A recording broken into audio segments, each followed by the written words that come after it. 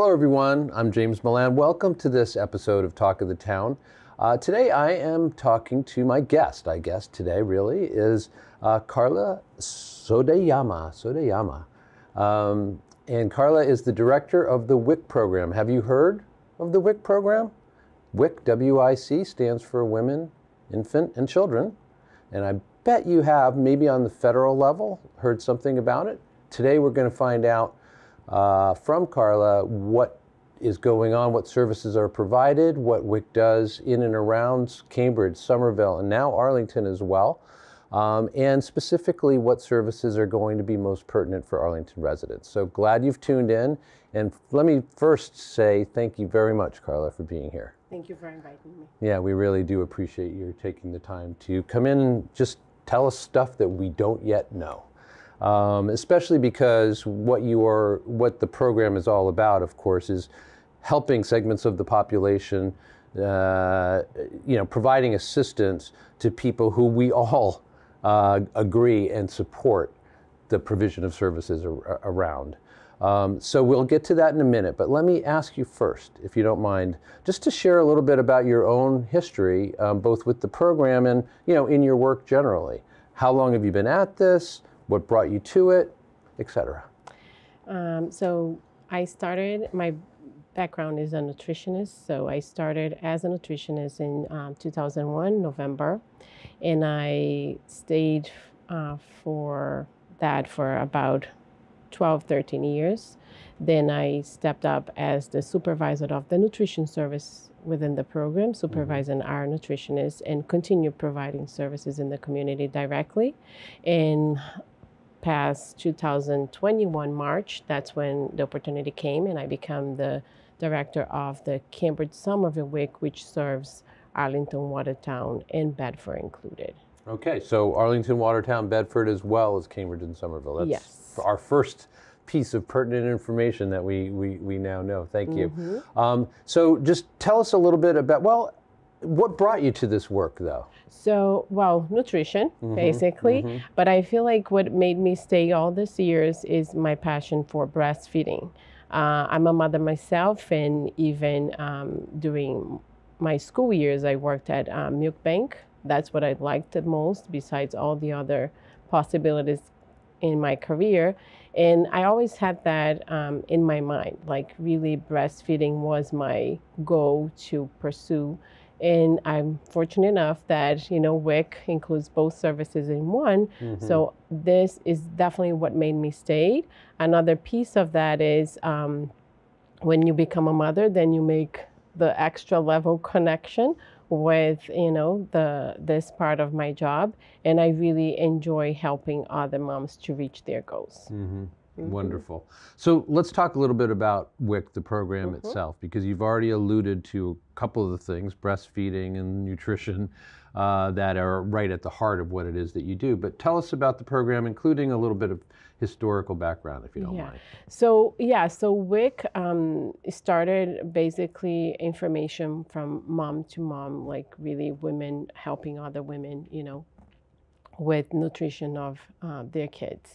And that's the whole idea, the information itself. So we are very a different program from SNAP and other resources uh, because our intention is to inform about nutrition and breastfeeding for mothers, parents, caregivers, take the you know their consideration into the information and use to best help um, in the nutrition of their family. Mm-hmm. We do provide um, a card with some foods, but it doesn't not provide what is necessary for the whole month. We are the supplemental program. Mm-hmm. Um, we don't look at the whole family to see what they need, but we give a certain amount per family, per child or mother, in the hopes that the nutrition and the breastfeed information is used the most to help the whole family to reach their um, nutrition status, like a better health and things like that. Mm-hmm. Um, so, besides nutrition information and support with breastfeeding, we do have um, four peer counselors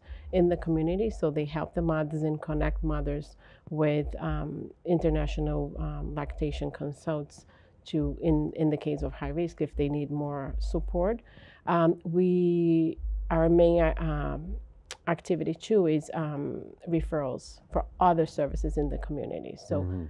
since from the beginning of the program when a person apply to the end so since we have to see income if there is anything in the community that that family can apply to so for example she shows a bill um, do you have discount you know for fuel assistance or gas or internet discount and all that is done right up front and then from the nutrition side you know when they ask about foods and what's going on then we do referrals to connect them with other resources of food too seeing that hours might not be enough.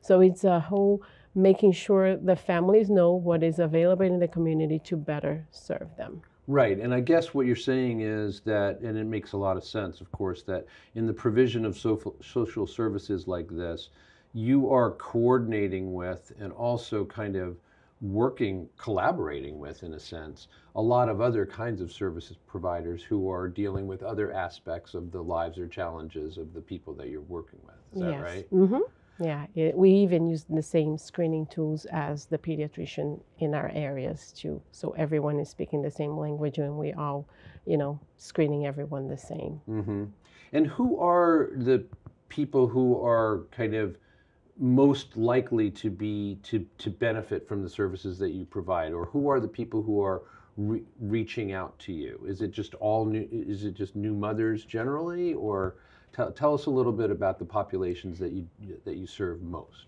Yeah, so usually uh, we serve low income families. Um, the ones that uh, reach us out um, easily are the mothers that already had other kids. So Mhm. those are the ones that come easily because they already know about the program.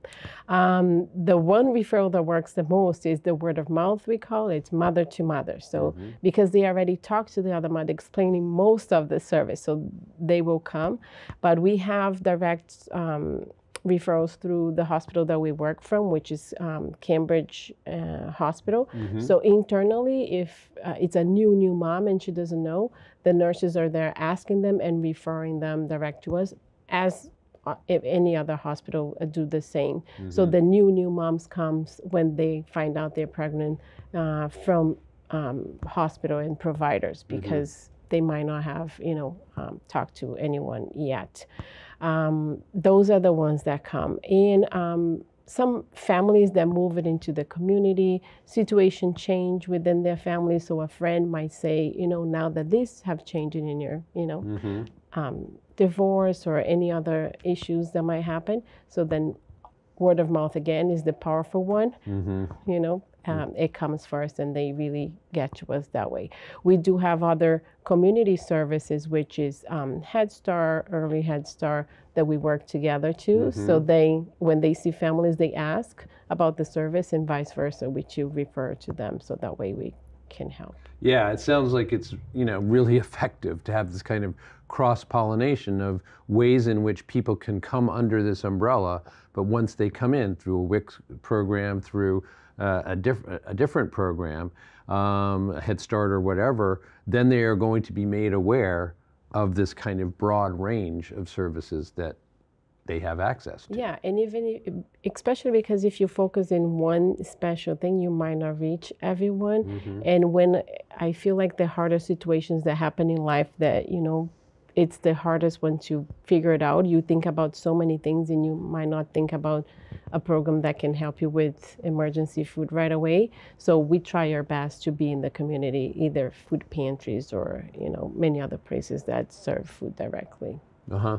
And um, you you mentioned that you serve large, uh, basically a low income population. Is that so? There is a income qualification as part of it. Yes, yes. So um, one, if a person has, for example, MassHealth, and I know MassHealth, we have various kinds of and types, but the standard MassHealth that we call, uh, their lev- their income level is lower than ours, so the person is um, Automatically kind eligible qual- for the program. So that is the easy one. But that's what I mentioned. Like, don't just because you don't have that type, don't say always can call us and we can screen because there Right. are other. Yeah. Right. You'd rather. Right. You'd rather. So, so let's let's let's make this very clear. Right. We want to give the message out to folks that if they have any questions about whether they might qualify in terms of income or otherwise, it's worth not just simply deciding, oh, it's probably not going to, it's not, not to work out. Instead, reach out and if you in, if in fact they don't qualify for whatever reason for your specific program you may well have ideas or other directions in which to send them. Yes, because even if they don't qualify, but sometimes they have a condition that is happening, that we can even make the referral anyways. You know, we can give them extra information. Mm-hmm. Um, one thing that we just opened for the community um, serving our hospitals and any community that we serve is just the hospital doing COVID, they couldn't keep up with their breastfeeding classes.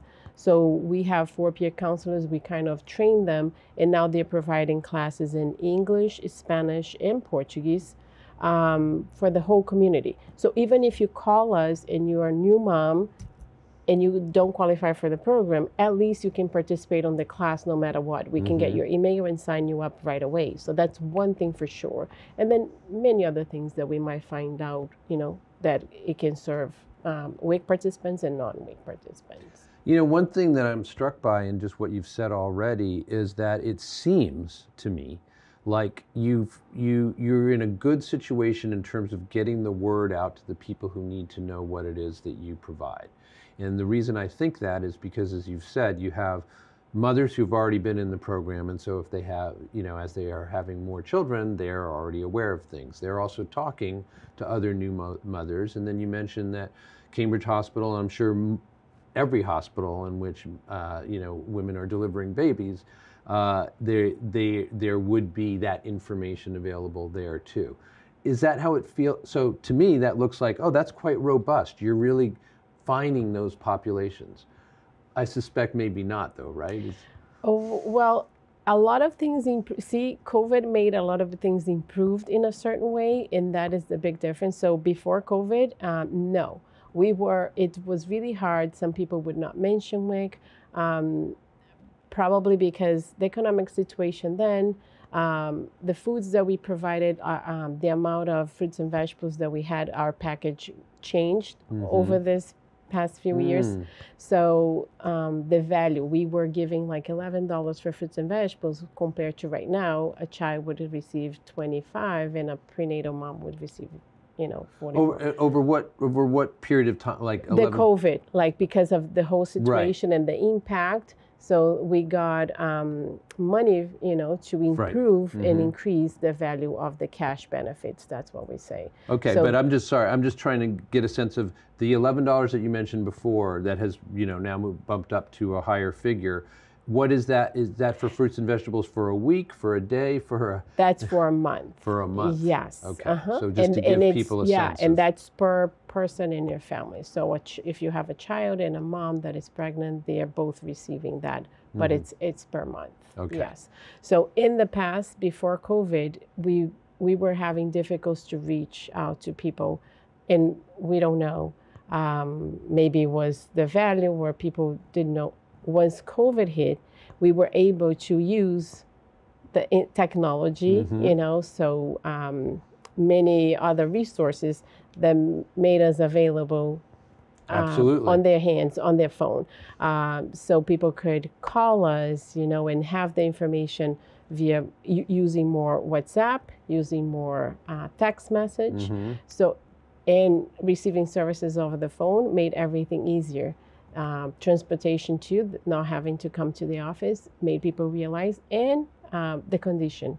You know, people need more of the resources at Right. that time. So, it changed, but we still see a percentage of moms coming towards the end of the pregnancy versus the beginning of the pregnancy Mhm. not as before. So we switched. We had um, about um, 48 to 50 something percent coming at the end of their pregnancy, and now we have only like 30, 28 percent coming at the end of the pregnancy. So we still try to reach more sooner than later, Mhm. but um, uh, we still have to keep, you know, informing people. Yeah, I mean, it's interesting what you said. Of course, uh, that's very familiar to anybody who has lived through these last three and a half years.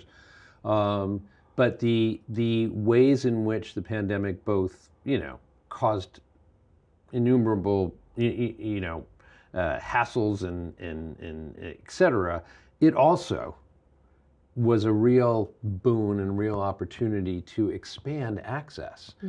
We, for instance, as a television station, we found that we needed to be able to uh, help our town to take the thing, the things that mattered most, whether they were, they were government meetings, public forums, et cetera, and there needed to be a way to disseminate that information to people who were stuck in their homes. Yes. And so we found that we had a, a real vital role to play, but it also meant that as COVID tailed off, we were able to continue to make use of those technologies that had helped us to reach a broader audience. I, I imagine you have a similar experience. Yes, uh, so that's another step that we're taking. Um, the government just gave some grants for innovations in WIC. So things that are here, some of them are staying and not, you know, going back. We're mm-hmm. moving forward in some of the technology that works. So um, in the future, like right now, when our waivers will expire as of July, um, so August 1st, we'll start in-person service, which has been happening already. Um, people will have the flexibility of some video appointments, you know, continue, some phone appointments continue, and the in-person appointment and the online appointment. yeah, again, it, our local government, for instance, is now offering most of their meetings or many of their meetings.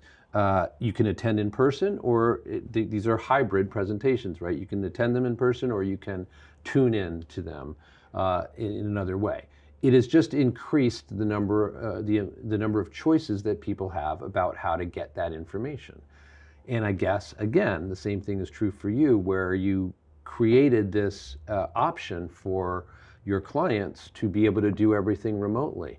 I imagine that even as many of us have been very glad to get back into the in person uh, work environments that we are in again, that there's probably a lot of people who are making use of your services who are who feel most comfortable staying remote. Is is that is that yes, the case? Yes. So there are a lot of um, moms with kids that you know schedule in life happens where it's easier for them to continue the services remotely, and then we just have to coordinate a few things to make sure we have the best um, information on that child so we can do a full assessment for the nutrition and health.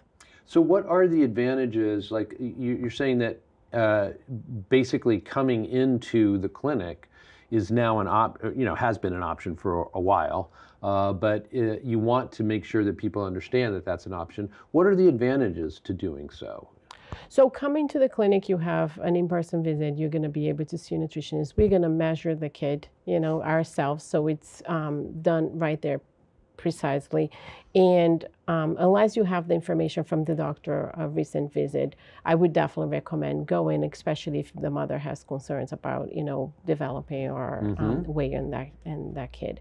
For new clients, for if you're registering for the first time, the best advantage is you get your WIC card right away, hand. Mm-hmm. So you can use your benefits sometimes on the same day. If you ha- if you came in at eight o'clock in the morning and everything was approved, on that same day you can go shopping. Versus if we do everything remotely, we will have to mail that to you, mm-hmm. and sometimes it's a short period of hmm. wait, but sometimes can take a little bit longer as mm-hmm. we all know, for yeah. things, as we all know about things we've waited for in the mail, right? Yeah. Um, yeah. So the, that WIC card that you were just mentioning, that somebody for, who is a first-time registrant can get as they leave the office and then make use of right away. What does that specifically? What does that enable them to so do? we so the electronic card is where we add like all the food, so mm-hmm. the cash value mm-hmm. plus all the items that they will receive, like milk, cheese, eggs, mm-hmm. and all the other that makes the food package, you know, that they receive on WIC. And they have sure they have uh, a period of 30 days to use that. It's um, mm-hmm. you know, so it does have time for them to receive at home if we have to mail. Mm-hmm. Uh, but it's the foods. It's one card per family. So if a family have like three individuals, it's still all in one card. It's the same. Um, the POS uh, machine that you use to pay at the store mm-hmm. with your credit card mm-hmm. is the same uh, place that you use your WIC card. Mm-hmm. Um, the and if a client, for example, has a SNAP, uh, we just make sure like use your WIC benefit first because WIC only pays for certain items and certain foods, Mm. and then you use your SNAP because if you use reverse, the SNAP will not pay for everything, and then you have to come back and use WIC. But this is what um, that card. And what are the items that WIC uh, will, you know, what are the categories, I So we provide milk, cheese, eggs, um, peanut butter or dry beans, whole grains, uh, juice, and fruits and vegetables, which is the cash value. So everything is an item in, inside the package. So a person has to buy that item and will deduct from the total. Uh, so you don't have to uh, think about the amount or the value. It's just the fruits and vegetables a certain value. So you shop and it comes out. And then if at the end you you spend more, then you just pay the difference for that. Everything else is an item. Once you use it, it's out of your card. It's basically so if you have a big store around you, you know, then um, it, it's going to cost a certain amount. But if you live in a community, there's a, like a small corner store, and the price is a little bit different, you don't have to worry about. it. As long as you bought those items, it's paid for. Okay, so I'm I'm I'm getting a better idea.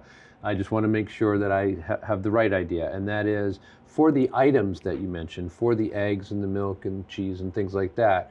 They can. That is basically an item, and it doesn't matter how much it costs. They just get to get that item or that number of items. Yes. Um, and then there's a separate another category, as in fruits and vegetables, where you can provide them with a certain amount of money that they can spend on those on the, that category of foods, and they can do that wherever they'd like.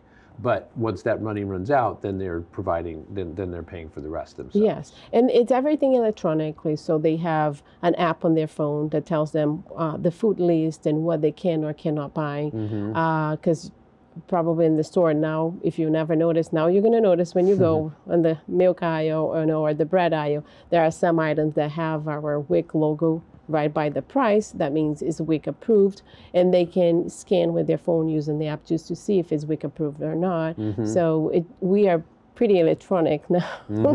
um, and then as soon as they shop, it will give them uh, a paper copy of what is left to, to shop.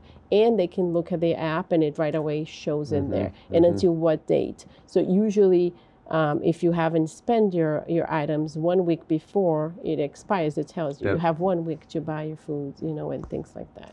Yeah, I mean, it it, it does. pretty. it- yeah, it feels like these these are serious advances in terms Mm-hmm. of people, in terms of convenience for people, in terms of basically helping them. I, I think you must have many years of experience, the WIC program, and you personally, of course, with just how crazy, busy, and uh, and distractible the lives of the women who you are working with are.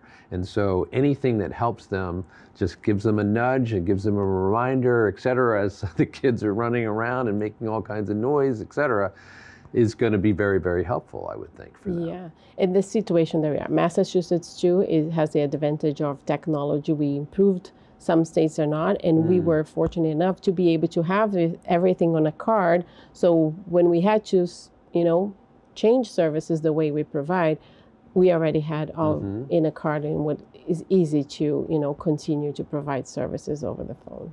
So you were just mentioning how Massachusetts has some advantages compared to some other places in that way. Is is is the WIC program?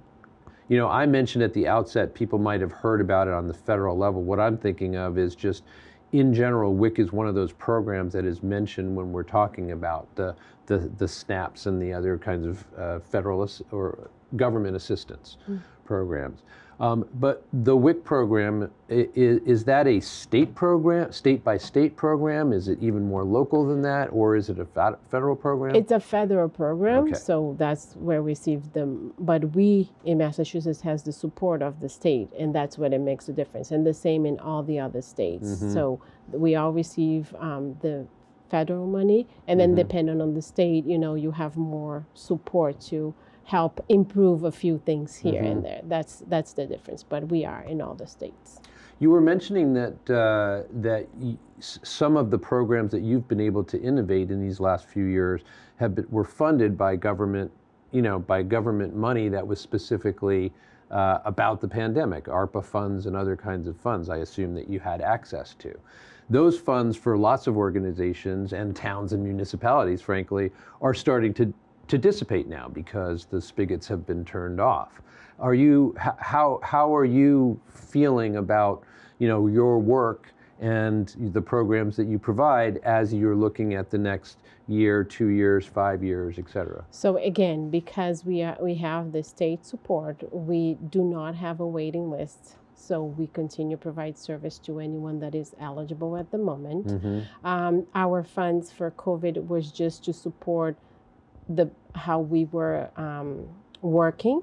You know, like extra computer for people that needed to work from home because we couldn't carry our Mhm, computers in the mhm. office and things like that. So that is not going to affect us. I see. So it's all it was all about kind of infrastructure and administrative Yeah. expenses and things like that. and a few changes that were made just got you know uh, went up for vote and um, National WIC Association and all the other states you know made proposals and they are reviewing things so we are going to continue but it's already embedded in our um, normal funding now Mhm. yeah Okay, we only have a couple of minutes left. I want to make sure that uh, you can speak straight to our Arlington audience uh, about what it is that you would like to make sure that they know that we don't we don't stop taping before you're able to let folks know. Well, I really wanted to make sure everyone knows that we do have an Arlington WIC office located um, at 7 Central Street in Arlington. Uh, is Suite 170. We are there every Tuesday from 10 to 6:30.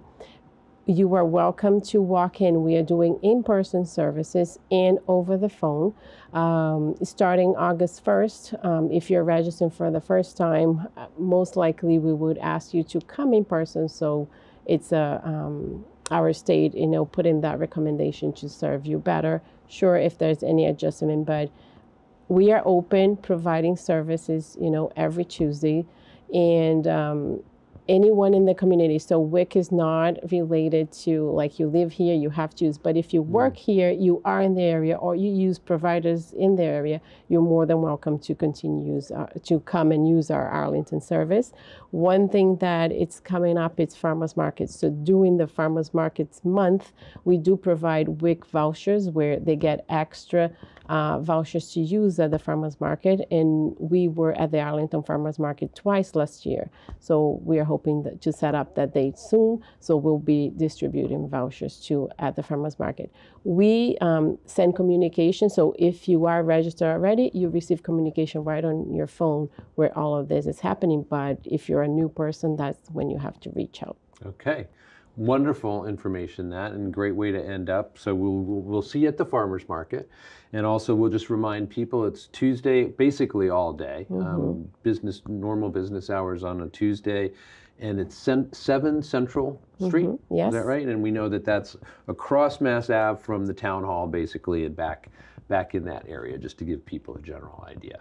And then lastly, I just want to again reiterate what you said if you work here rather than live here, you also can access that that, that office and its services. Yes. Wonderful. Um, hopefully, the timer will get turned off, and we'll just finish up. Great. By saying that I have been speaking with Carla so- Sodeyama. Sorry to No. stumble over your last name. That's Carla fine. Sodeyama has joined us. She is the director of the WIC program in the Cambridge, Somerville, Arlington, Watertown, and Bedford. Bedford. There yes. we go. I had almost forgotten. Um, i- a- among those various cities, the WIC program that she's just described. So, Carla, again, one more time, thanks for joining us and sharing this really great information. Again. We appreciate it. Uh, we appreciate Carla's time. We appreciate your time as well. This has been Talk of the Town. I'm James Milan. We'll see you next time.